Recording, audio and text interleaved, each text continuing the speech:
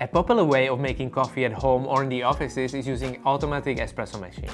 We were never really big fans of them, didn't use them too much, until we moved to our new offices. This DeLonghi Magnifica S was sitting on the kitchen counter. Out of curiosity, we tried to figure out the best way to make good tasting coffee. The improvement was quite big, so in this video we want to share 5 tips or areas that should help you to make better coffee on bean to cup espresso machines. Now, the problem with automatic espresso machine is that it's kind of a black box. It's advertised to be very easy to use, just throw some coffee beans, add water and press the button. The average user shouldn't care about the process. Most people use them out of the box without any adjustments and don't even know the full potential of these machines. We will cover choosing the right coffee beans and importance of water quality. Then we will show you how to set the brewing parameters on this machine and how to brew better espresso and long coffee. Last but the most important topic will be cleaning. We'll use DeLonghi Magnifica S for this demonstration as it's popular, affordable and pretty basic automatic espresso machine. Most, if not all tips should be useful even if you use another machine in this category. Okay, let's start with the essential thing. Coffee beans. To brew good tasting coffee using automatic espresso machines, you need to look for well-developed and easier to extract coffees. It's often labeled as espresso roast, but some roasteries even develop a specific roast style for beans to cup machines. Just ask for them. Even if you like light and bright coffee roast for filter coffee, you should avoid it for these machines because it's much harder to extract and you might end up with coffee lacking sweetness and body and is overly acidic. On the other hand, it doesn't mean you must use dark roasted coffee. We picked coffee from a local specialty roastery Rebel Bean. It's their underdog blend that consists of coffees from Brazil and El Salvador. It was roasted a while ago on the 1st of February, which is already two and a half months, but since we kept the bag closed, it's well rested now and should taste great as espresso. Most roasteries would recommend resting coffee before using it to make espresso for at least one or two weeks. Finding a roast date on the bag is one of the key quality control checks when buying coffee beans. It's better not to add the full bag into the hopper at once because coffee will oxidize and lose its freshness quicker. I suggest refilling hopper daily and keeping remaining coffee stored inside of the bag.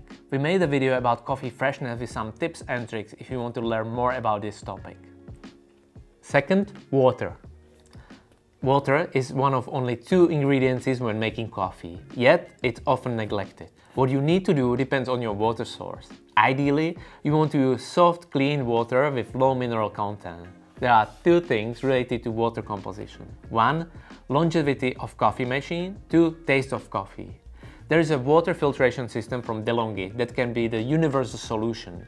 What's important is to change it regularly according to recommendations from the manufacturer. Also, don't let the water stay for too long in the water tank.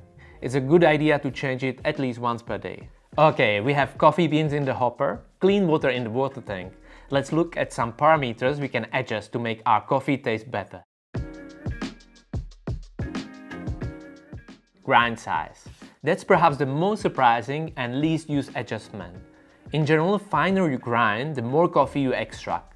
Yet, if you go too fine, machine might not have enough power to push water through coffee, or it finds its way around it, which is not good and results in unbalanced cup of coffee.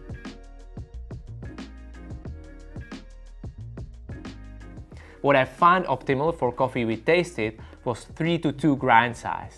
Unfortunately, I don't know what is the factory setting, but based on what I have seen looking at the friends' machines, I would definitely suggest experimenting with a finer grind size dose. It means how much ground coffee will the machine use to brew espresso. You can easily adjust it on the front panel. Visuals suggest it influences the strength of coffee.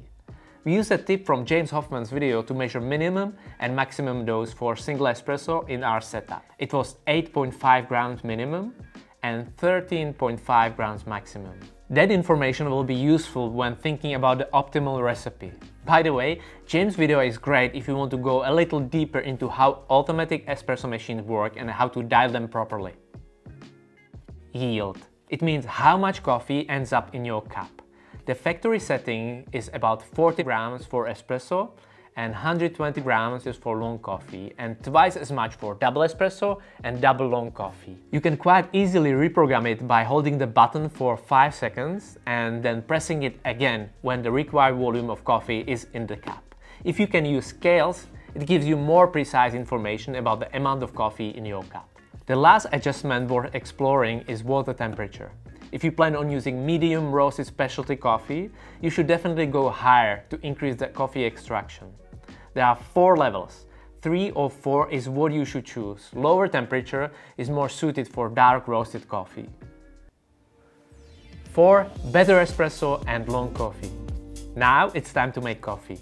I will start by pressing a rinse button and placing a cup under the coffee spout. I do it for three reasons. One, it cleans the spout from remaining dry coffee or any dirt, which is very important especially in the offices where I don't have a good control of the use of the machine. Second, it heats up the whole brewing mechanism.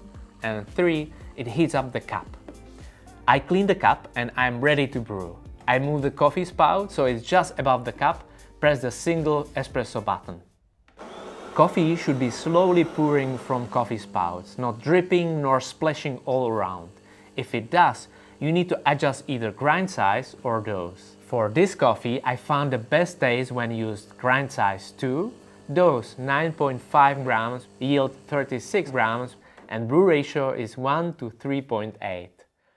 For most automatic home espresso machines, it seems that this good tasting window is in the range of one part of ground coffee to three to four parts of coffee in the cup. Your taste is the ultimate judge though, numbers are here just to give you a reference. In the end, I like to rinse the coffee spout again to keep it cleaner for the next brewing. If you want a bigger cup but the same strength, I recommend pressing multiple times espresso. It takes longer, but since you made an effort for this single espresso to taste good, it will give a much much better result than pressing the double espresso button. If you want a bigger cup but milder taste, I recommend pressing single espresso again and diluting it with the hot water from a kettle to your taste. This way you extract the best out of this coffee without any sacrifice. If you press long coffee instead and don't change any parameters, you extra coffee, but then extra 80 milliliters of water will run through coffee, which often results in bitter, astringent or simply not pleasant taste. The last quick tip is about milk steaming. This machine has a steam wand. Not a very powerful one, yet it can be used. What I saw people struggle with is the water coming out of the steam wand at the beginning. The best way to go about it is to place a cup under the steam wand first, Wait for it to heat up and then let all the water go out. Only when steam comes out, it's ready for milk steaming. Also, it's important to use a milk pitcher. Otherwise, it's much more difficult to steam the milk and then pour it into the cup. 5. Cleaning and maintenance. The cleaning, which is in my opinion the most neglected part of using automatic espresso machine. I'm guilty myself, pressing the button is so easy that I often don't follow the next steps. The user manual is actually pretty good in describing cleaning routines, so go ahead and look at it if you haven't done it yet. I will just make a short summary here. After every brewing, I like to rinse coffee spout with an extra water to immediately remove most coffee droplets. If you use steam wand, this should be also cleaned immediately after using. Every day, it's a good idea to clean ground coffee container and drip tray. Otherwise, you might end up with dirty water flooding your kitchen counter. You should also clean coffee spout with wet sponge or cloth often. Every month or so, I would open an inner part of the machine to clean coffee infuser properly and brush out all the ground coffee from the inside of the machine. The last thing I mention is descaling. Machine will prompt you to run a descaling cycle quite often, in my opinion, it's a lengthy process that takes about 45 to 60 minutes in total. Just count on this maintenance routine and cost to keep the machine in a good shape for longer. Okay, so let's sum it up. To make a good tasting coffee on automatic espresso machine, you need to choose high quality coffee that is roasted for espresso machines.